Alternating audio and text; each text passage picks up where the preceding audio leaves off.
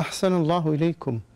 يقول هذا السائل هل يجوز أن أؤدي العمرة عن والدتي المتوفاة حيث أنها لم تؤدي العمرة وإنما قامت بالحج؟